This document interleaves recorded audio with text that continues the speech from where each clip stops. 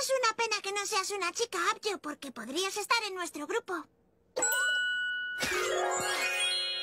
De ninguna manera conseguirías que un hombre como yo se pusiera algo así.